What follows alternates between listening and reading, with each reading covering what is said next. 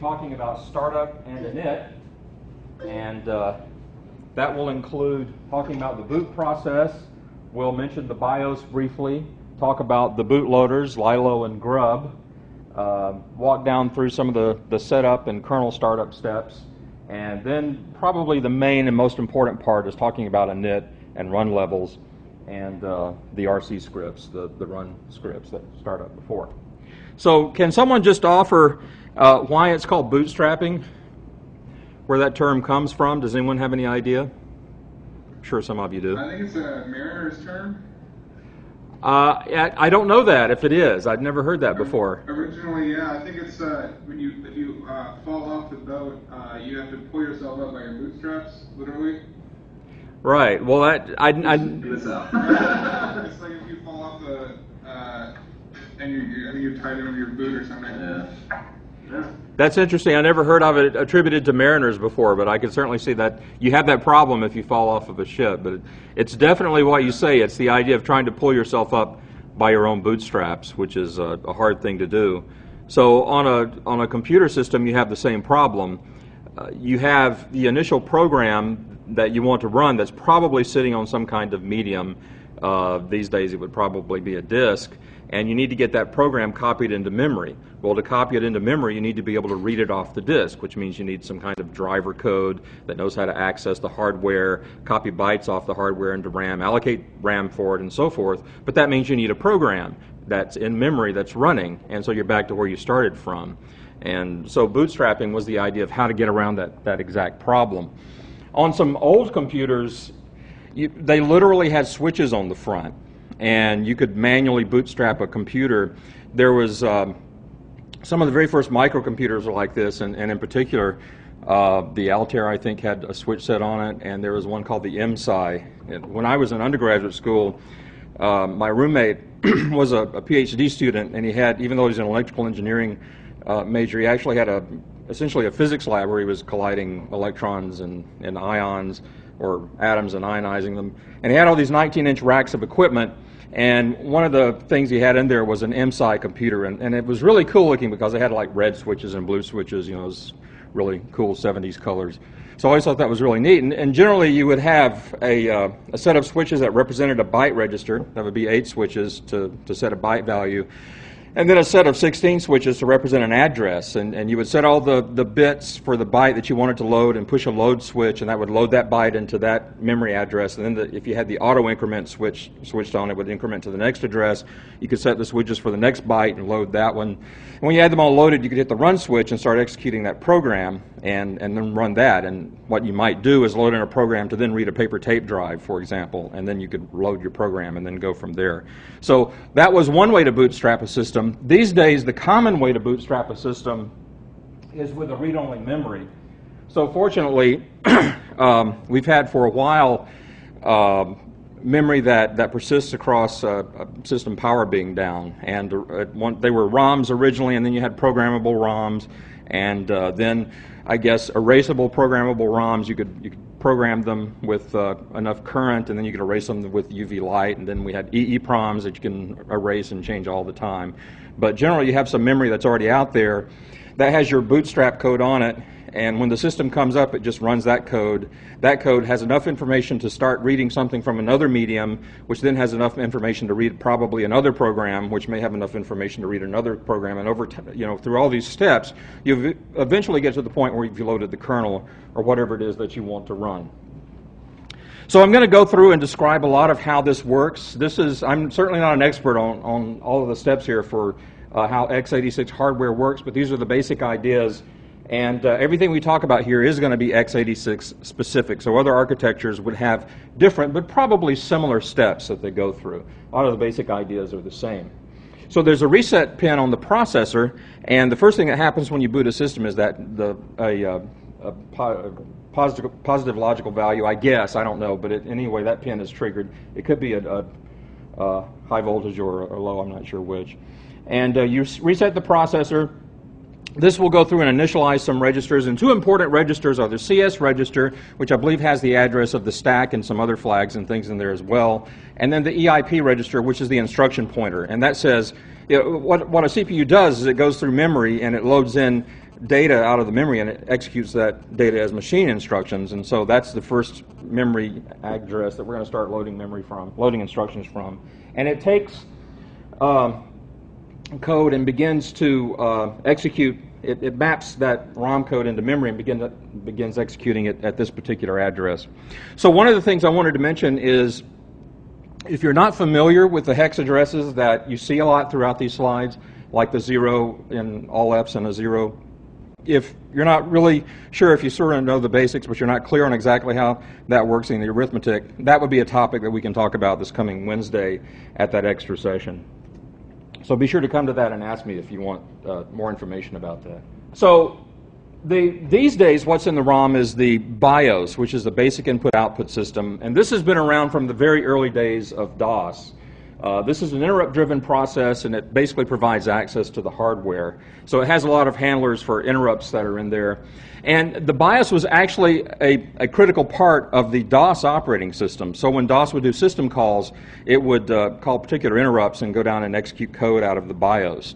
But in the case of the Linux world, the, uh, the BIOS is itself not at all a major part of the, the Linux operating system. It uses the BIOS to get the, the bootstrap process and get thing, the kernel loaded, and after that, the BIOS is, is gone. It's, it's done with it. It doesn't really use it anymore after that. Linux uses all of its own device drivers and interrupt handlers. So um, it's just for the boot process.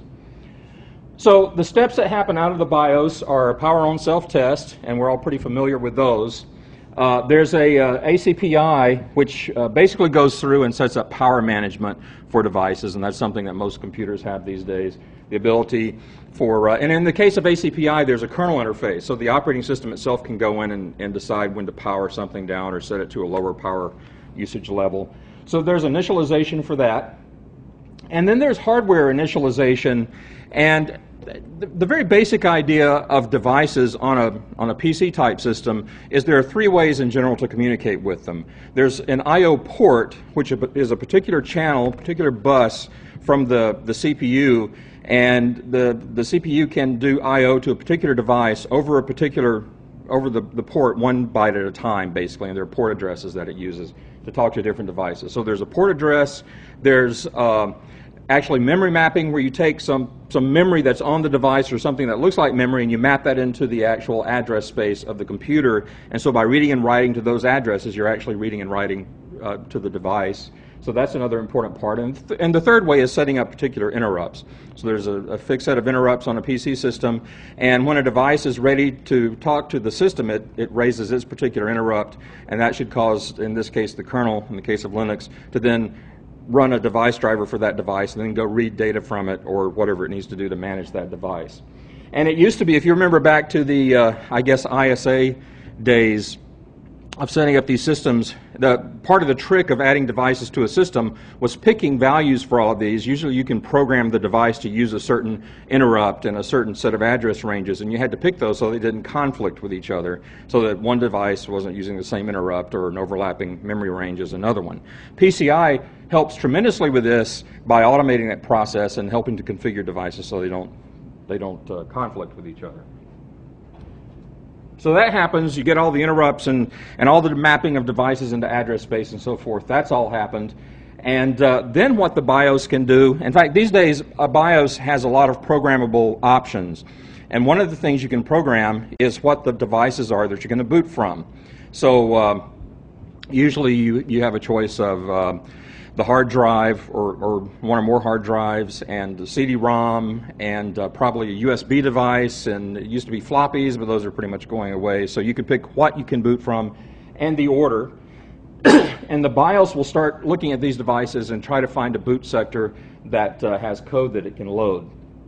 When it finds a boot sector on the first device that, that has something out there that, that it can load and execute, it'll copy that, that one sector, and a, a, sector on a disk drive is 512 bytes. So a disk drive is, is organized into these little sectors of, of 512.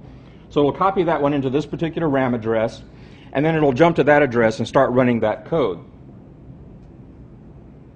So what that sector is, the first sector of a partition or, or a disk or one of these devices is called the master boot record.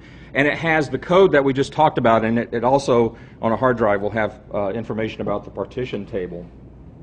And uh, what you need to do is, is put this boot code in that, that location. It's interesting that Linux itself, up through uh, kernel versions 2.4, actually had a bootloader built into the kernel image.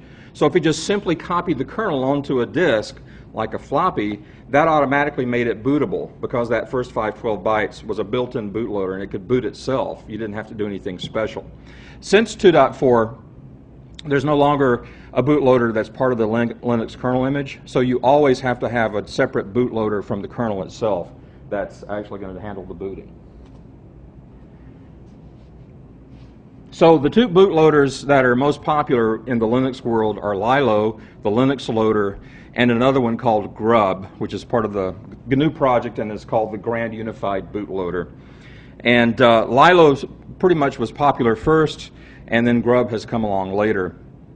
There are a number of differences between them, but, but some of the most important ones I think are uh, Lilo has a way to set up a config file, and the config files for these bootloaders always have something like uh, we're going to put up a prompt, maybe, and uh, we'll give you so many seconds to, to pick an operating system, and then we'll boot to a default one. So you can you can have it point to different operating system images on different disk partitions, and you can put up a menu and let the user pick one of those, or you'll boot to a default one. And they usually have the actual uh, line, command line that you need to send to the boot process to boot that operating system image. They have a way to boot Linux and Windows and probably other operating systems too.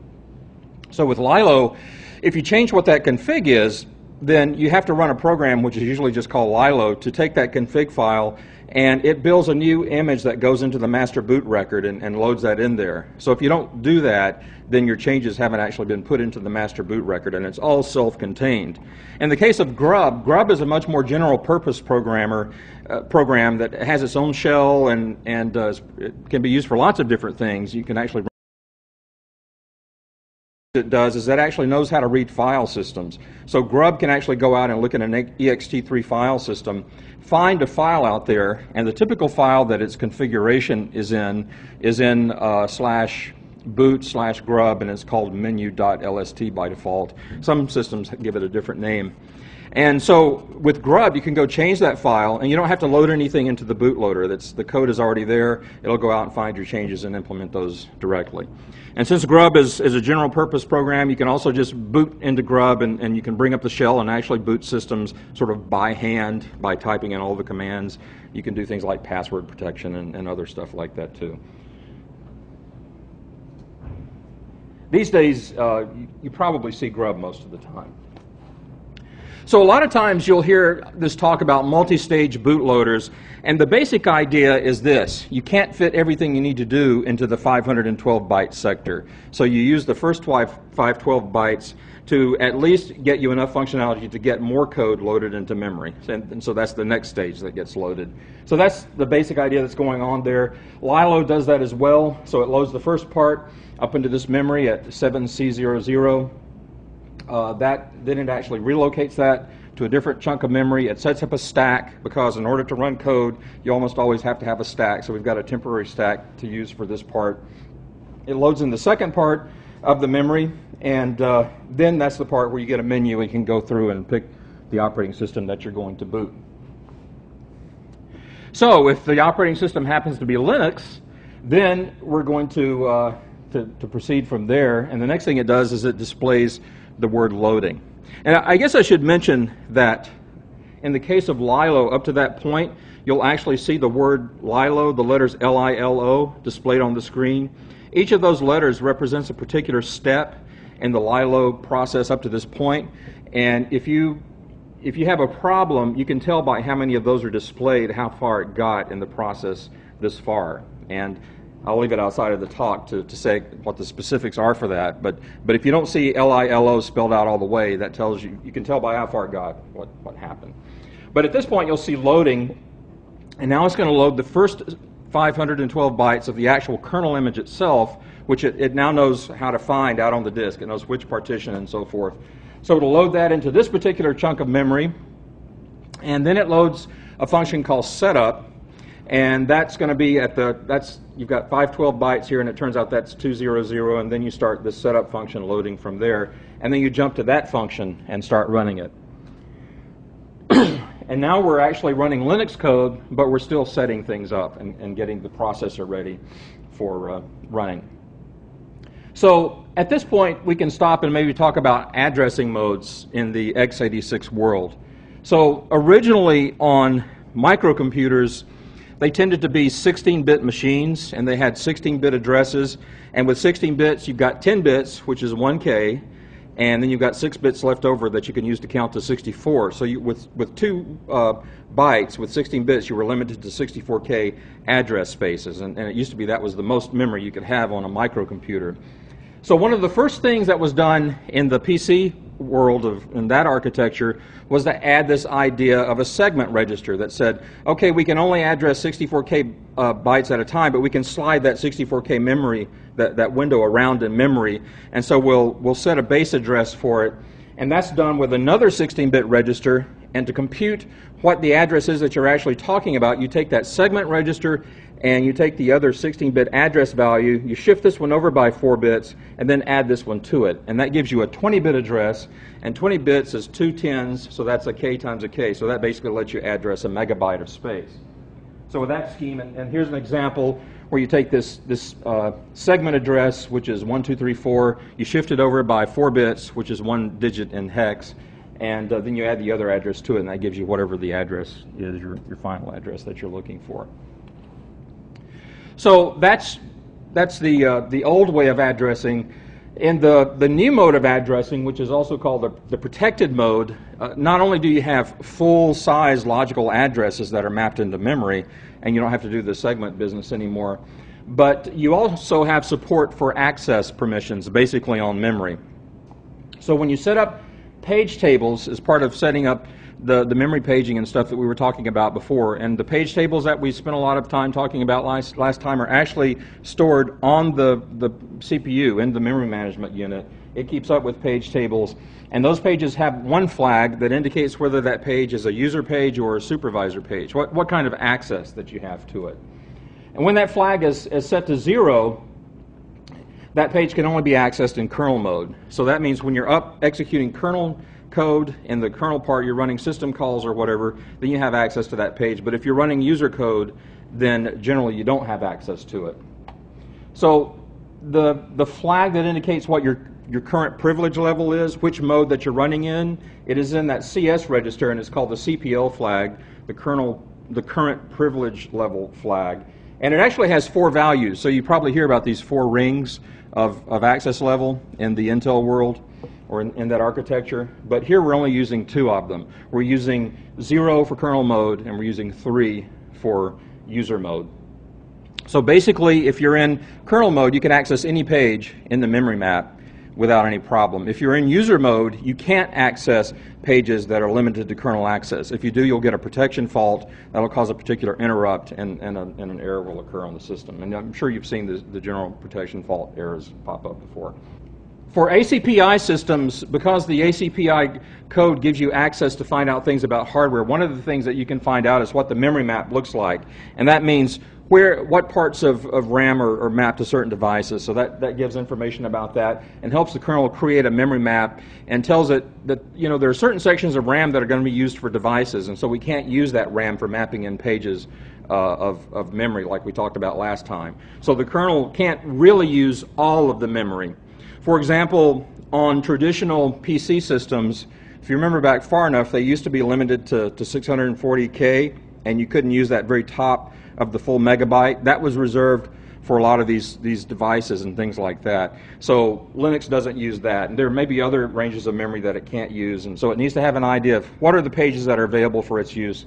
And it's typically way down in the lower parts of memory, I think, where those restricted regions are. And then it has addresses you can use from there all the way up to the top. In the case of uh, if you have a disk controller, you can find out what, what disk drives are out there and, and what their partition tables are and things like that. And then you set up an interrupt descriptor table. So an interrupt descriptor table uh, goes back to this idea of interrupts. Different devices can raise interrupts, and then you want something to happen. And the most basic way you do that is you have a table and it says, for example, for interrupt number 12, jump to this address and start executing code. So an interrupt table is just a set of addresses that point to different code that you run. So that gets initialized to a, a, a starting value, which is going to be changed very soon. You reset the floating point unit, the FPU. You switch to protected mode because we were running in real mode now, meaning there was no user kernel distinguish. You know, you just the what was running owned everything. So now we're running in protected mode. We're paying attention to those flags, and uh, we're going to be using the, the memory management and paging and so forth. So that all comes into play. And then we jump to a particular address in the code that's called startup 32. And there are actually two this, this name gets used twice, but this is the, there's only this one that exists right now that we start to use. So now we set up segment, segmentation registers, set up another stack, and then initialize the kernel's un, the uh, uninitialized data to zero. We just fill that with zeros so it doesn't have weird numbers just sitting in there that are left over from noise while the system was initializing or whatever. And then we run this very important function called decompress kernel. So there's a long tradition in, in, Linux. I don't know how far back it goes, but any version of Linux I've ever run had a compressed kernel. And so when you loaded the kernel, you actually had to decompress it into memory. And that's what happens here. And you'll actually see the message on the screen, uncompressing Linux, and the little ellipsis there, and then that happens, it, it, decompresses this, the rest of this kernel code into memory, and then it says, okay, booting the kernel. So now we've loaded the whole kernel image. Before we had just loaded some of the initial sectors of that image. Now we've loaded the whole thing. We jump into this particular address, and then we start running. And what we're running at this point is another function that also happens to be called, confusingly, setup 32, startup 32. But you don't really have to care about this. This is just what's happening in the background. And uh, at this point, we set up the page tables, and uh, we didn't really talk about the global page directory, but you have all these different page tables that are set up for paging, and there's kind of a, a cascading architecture that's used there. There's a particular register called CR3 that says which page table that you're using. So remember when we talked about doing a context switch from one process to another? The, each process has its own memory map, which means it has its own page table. And this is the register that you change to point to a different page table that says, okay, instead of using this map of, of pages into memory, now I'm going to be using this one. And so that's, that's where that happens. Um, we, uh, we set up kernel mode, and then we go to process zero. So the very, very first process that runs on a system is this PID0. And let me just briefly mention a little bit about what PID0 does. You usually don't see that one on a system, I think, when you do a PS listing. At least I don't think you do. Um, there have been times, some systems you do see it. But anyway, it's um, the after PID0, you have PID1, which is init, and we'll spend some time talking about that. But, but PID0 is the answer to the question that you might have thought about, and that is Remember when we were talking about scheduling and when it's time to schedule a new process, you look at all the processes that have the task running run mode, the, that particular state, and those are the ones that are ready for the CPU, and you have to decide which one to schedule. Well, what if there's no task waiting on the CPU? What if all of them are asleep for one reason or another, and there's really no one that needs to use the CPU? Then what do you schedule? What does the kernel do? Well, what it does is it schedules PID 0. And all that PID0 does is uh, basically uh, issue a halt instruction and stop the CPU. And so you might think, well, great, now we've stopped the CPU, how do we get it started again? Well, if you remember how, how scheduling works, there's that, that scheduling timer that's ticking along, these days usually at a kilohertz. So if nothing else happens as far as scheduling a new process, this, this tick is going to come along and, and send an interrupt after um, however long it is, a nanosecond, I guess. Is that right? Kilohertz? No, that'd be a millisecond, wouldn't it? So it comes along at a millisecond, and it's going to send a, an interrupt and say, okay, let's let's recheck the, the scheduling, the run queues, and see if anyone new needs to be scheduled. In this case, what it does is starts things back up, looks to see if there's a process out there that needs to be scheduled. If there's still no one to be scheduled, then you're back to PID zero again. So PID zero effectively represents the idle process.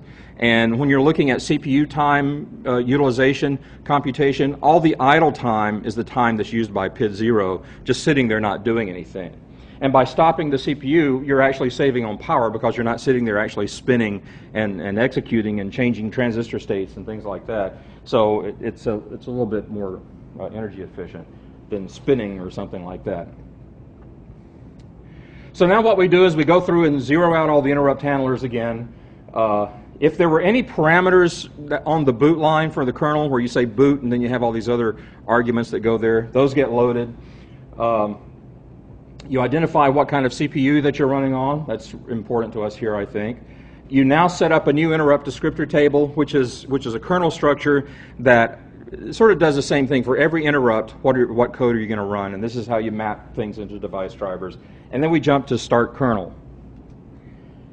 And once we're at start kernel, then we call schedule init, which is going to set up the process scheduler and start scheduling other processes as soon as they're created. Um, interrupt handlers are actually filled in, and uh, we, we do the mapping from IRQs and so forth. Set the system date and time from the hardware clock.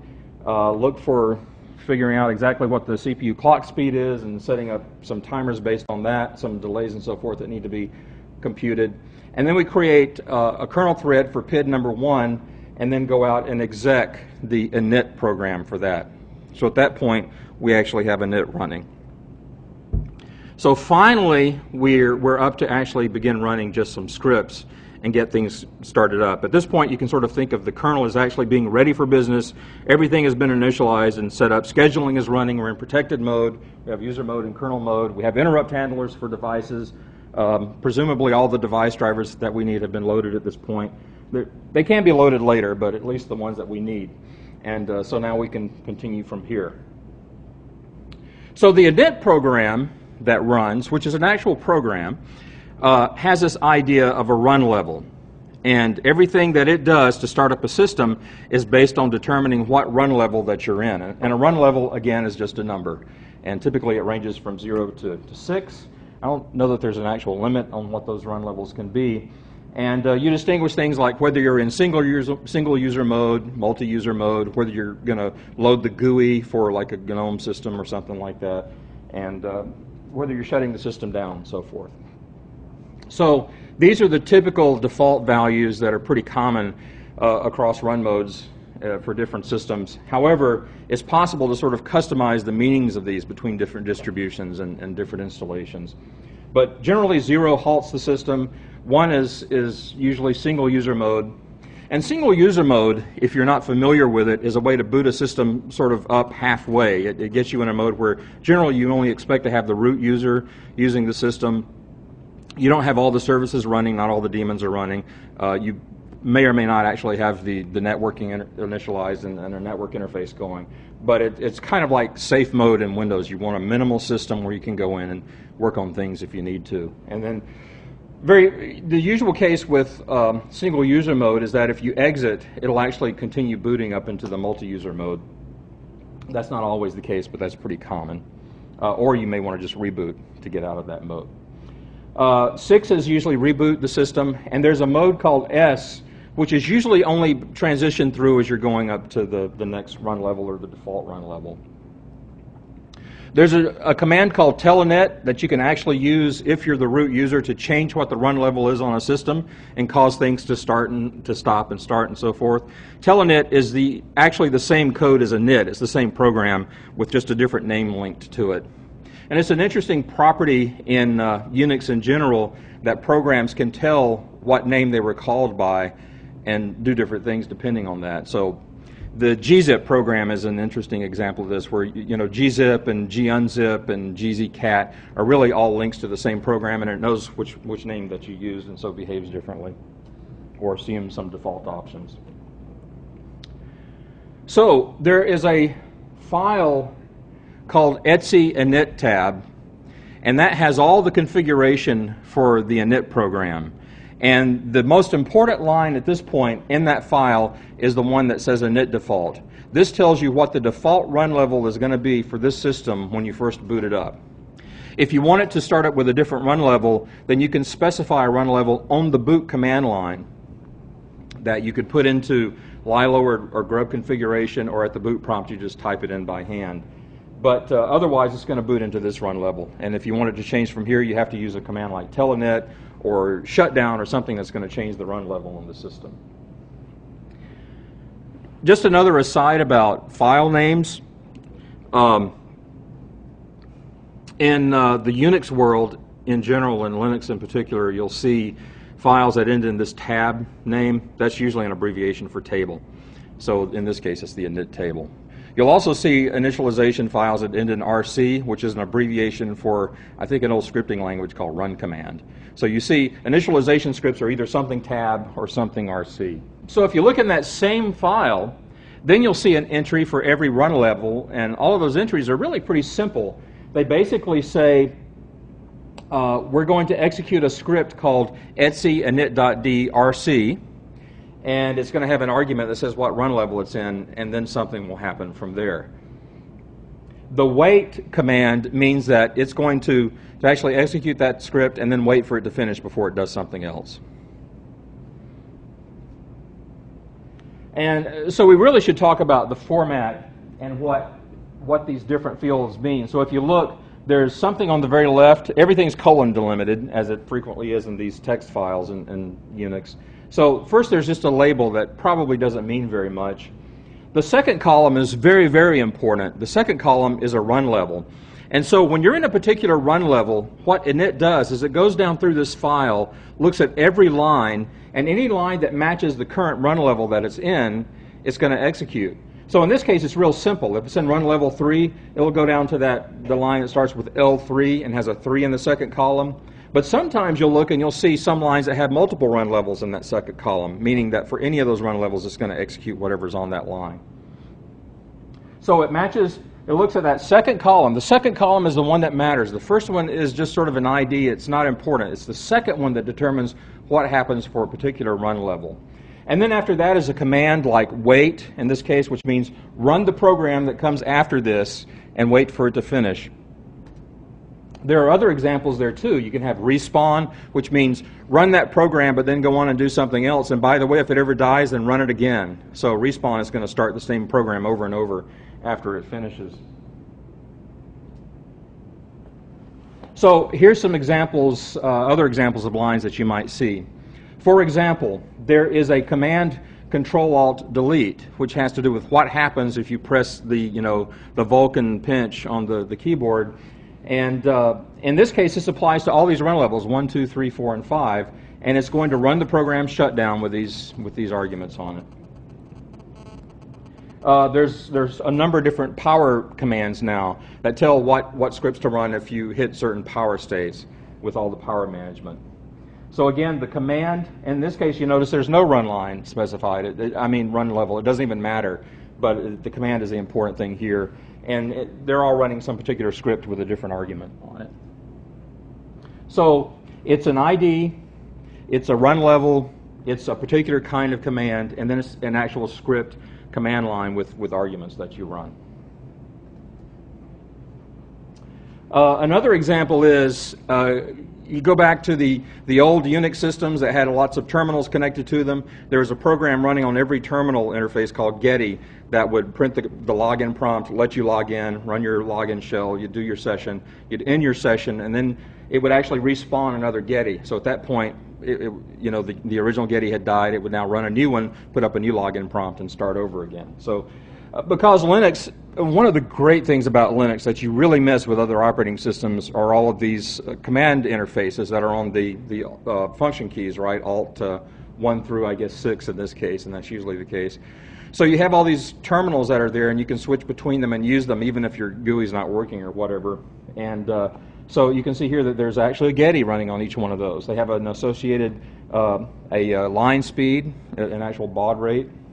Technically, it is a line speed, not a baud rate, and a terminal uh, device that they're assigned to.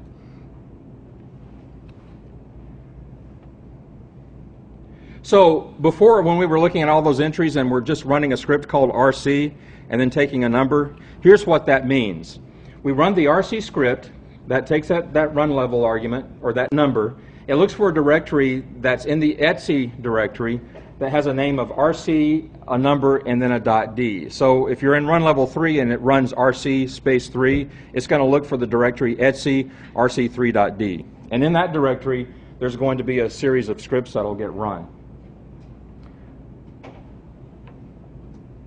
Oh, okay, yeah.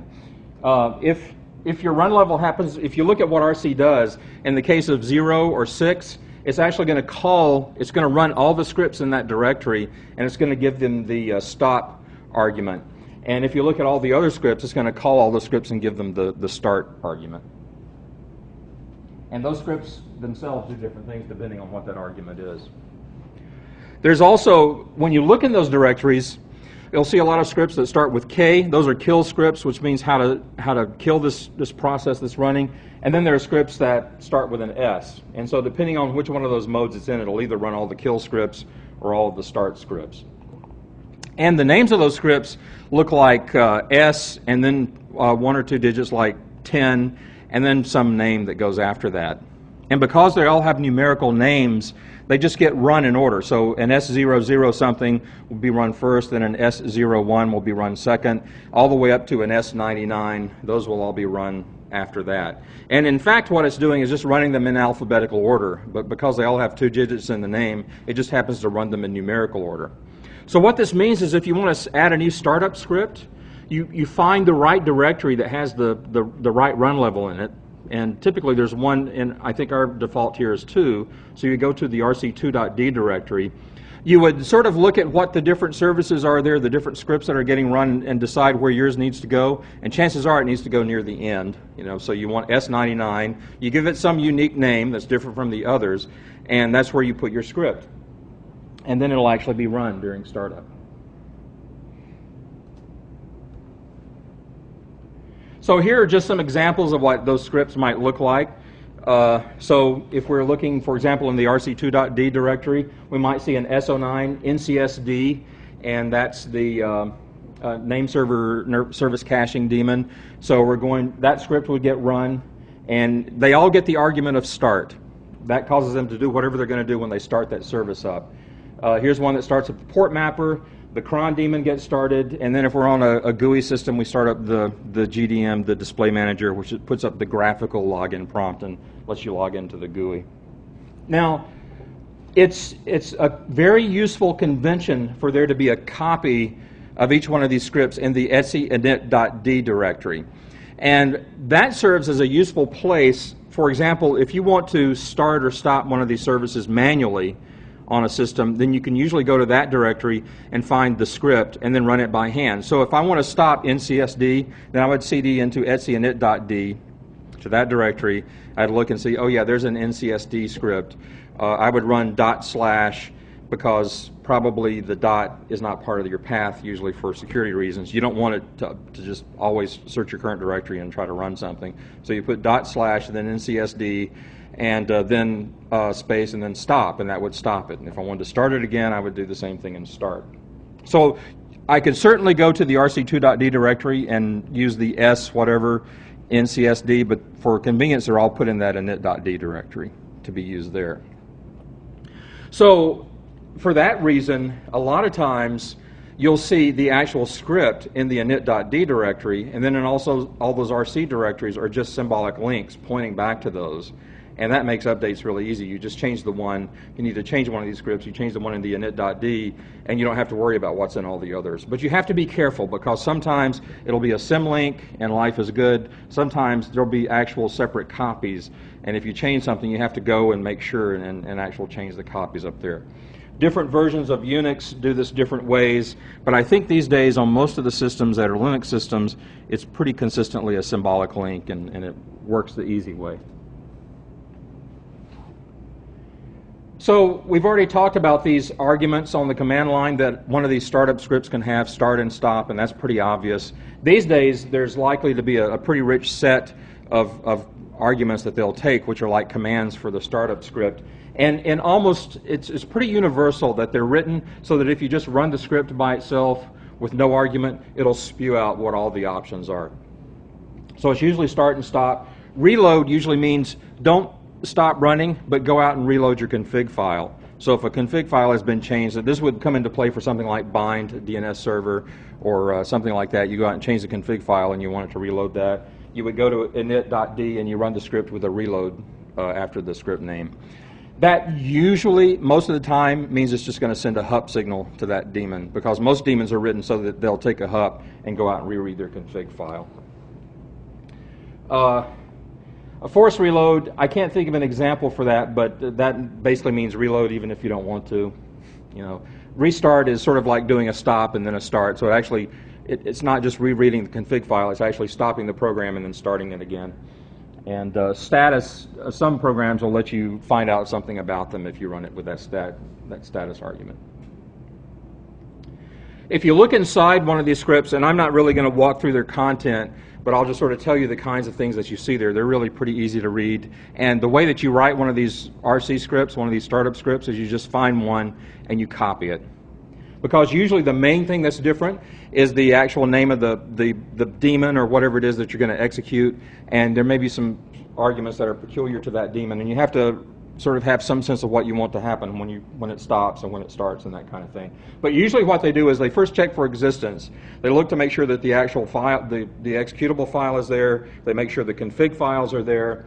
Uh, they run the file. Uh, sometimes they may check for other prerequisites. Maybe some other daemon needs to be running. For example, you don't want to start up uh, NFS without first having the port map uh, daemon running. By the way, there's uh, I guess in the Red Hat world, there's this whole sort of uh, system management, daemon management uh, architecture that exists there now, and a lot of this is kind of automated in, in that, and I, am not really going to talk about that. Uh, and Solaris has done a lot to uh, do the same kind of thing. Uh, for stopping processes, basically all you want to do is find the PID and send it a uh, terminate. That's usually what the idea is. And frequently there'll be either a, a, shell function defined or even an actual program that's out there somewhere that makes this easier. So pkill is one that's around that kind of does a grep for the command part of, of a, a PS listing and finds every process with that name and then just kills them. Uh, another common thing is um, a, a lot of daemons will keep a file out in the var run directory that has the PID, the, the PID for the parent of, of that uh, program there. And so your code will look for that PID file, take that and send a terminate to it, and then the actual daemon itself knows how to go through and then tell all of its children to die and try to take things down cleanly. And I noticed in uh, Ubuntu there's this fancy new start stop daemon script that sort of does all of this for you. So you just say start stop daemon and some arguments and the name of the daemon, and it just kind of does it all. So people have written some pretty fancy tools to handle this business. So that's what I was just saying about shutting down a particular process. And then finally, uh, in the Ubuntu world, they've decided to change everything. So even though init has been around, that's init actually came out of System 5, and I guess it's worthwhile talking about a little bit of history. So System 5 was the uh, commercialized version of the original Unix that was written at AT&T Bell Labs, and uh, at the time, you could license source code and, and, use it at your university to do research or to study operating systems and study Unix. And so versions went to, to various campuses, and of course, one went to, to Berkeley, and a lot of research that was done there resulted in the BSD version of Unix. So BSD became sort of a very different Unix from the commercialized AT&T version. So AT&T uh, went through several versions, and the notable ones were System 3 and then System 5, and BSD went through all these, these version 4 uh, versions. And uh, the way that startups, the initial, the InitTab stuff was a System 5 startup mechanism. The way Berkeley did it, BSD at that time, was actually much simpler. There were basically three startup scripts. There was rc.boot, that did sort of the hardware type stuff. There was RC that did everything else, and then there was rc.local where you put your own stuff. So if you were adding a web server to a system and you wanted to start up that web server, you would stick startup code in, in rc.local. And there weren't all these different RC scripts out there for every little daemon to start and stop them. Uh, there was a point in time when BSD and, and, System 5 sort of merged, and that was with System uh, 5 release uh, 3, I guess, was the first one like that. And um, and then there was a release for System 5, SVR4. And so a lot of these different mechanisms were merged together. But I, I notice if you look at our systems here, for example, and I guess, I don't know if that's here or if it came out of Red Hat, it actually has everything. It has the, the init and the RC scripts, which you'll still see RC and RC.local and all the others too. So you have to kind of poke around sometimes to find where something might be. So that's sort of the old way. The new way that Ubuntu has added is an entirely new uh, uh, mechanism called uh, Upstart. And uh, what they've done here is kind of the same idea as all the RC files, but they're, they're doing it for the init tab. So they take all the different kinds of initialization things that can happen, and they put those in separate files, and they're in an etc event.d directory. And uh, so each one of these so-called jobs is based on an event that can happen. And events can be startup, uh, they can be uh, uh, stop or shut down or whatever. And uh, then it will exec these files, and uh, these files are config files, and they have certain script statements inside of them. So it's kind of like an init tab file spread out over a bunch of different files to make it easier to manage, basically. And just, just a note, these files that you see in that event.d directory, they're not executable scripts. They're config files, kind of like the init tab file, and they actually have scripts in them that, that get run. So here are the upstart uh, commands. If you want to, to start one of those or, or cause it to stop, you can say start and then have the, uh, the particular name of that job, which is what those are called, those different files. Uh, you can do start, stop, and status, and you can do a, an init control just to list all the ones that are currently out there sort of in a running state, started state. So that's just a little bit about Upstart, and if you want to find out more about that, it's pretty well documented. It came out of the Ubuntu project, and I think you might see it if you have used, for example, an Ubuntu desktop, but not on a, a production server, for example. It would still be init the traditional way. So that's most of my time. Now it's your time, and uh, I'll take any questions that anybody has. So the first question that came to my mind was um, at the very beginning, before we call init, Right. um, you said it's running all these different functions like start startup 32 and uh, decompress kernel and all sorts of other stuff. Are are those all running under this PID zero, or are they in some sort of magical land where there aren't PIDs yet? It's, it's in a magical land where there aren't PIDs yet. So this is like an old style operating system where you just load a bunch of code into memory and you run it. So Okay. you, there, there, until you actually start scheduling and, and, and doing that part of the kernel function, uh, you're, you're initializing hardware basically, setting up tables and that kind of stuff. So, so there aren't even PIDs at that point. Does that work as an answer? Yeah, makes sense. Okay. Yep. It, it, uh, the reason PIDs and scheduling go hand in hand, so you don't have multi. You're not. Uh, another way to think of it is you're not multi-processing yet. You've just got one program that's running, and it owns the entire system at that point, and it, it's going out and initializing tables and setting up and still loading stuff into memory. Once all that happens, then we can start the multi-process idea, and that's when PIDs matter. When you have scheduling going on, and you can have process structures created in the kernel and that kind of thing. So, so it's getting up to that point where you can start doing that. While you're thinking about questions, I, I, guess just as a way of review, I'll emphasize that the main thing you want to remember out of this is, and the, the thing that's most important from the system administration point of view, is what do I do to add a new service to a system? What do I need to set up? You know, how do I go out? Do I need to change anything in the init tab? Probably not. But uh, you probably do need to either find or create RC files and you need to know which RC directories they need to go in, and, and you probably want to put one into the uh, init.d uh, directory and then make symlinks and that kind of thing. And, and what number do you give them? When do you want them to start up? Do they depend on other things? So that's the, that's the real system administration meat out of this, and that's a very common thing to do to systems. Although it is true that RPMs and, and Debian packages will usually set up these, these RC files for you. But uh, traditionally, if you don't have that done for you, that's, that's what you'd have to do, or, or maybe you'd have to debug or something like that. Okay, any other questions? All right, see you on Wednesday and Friday.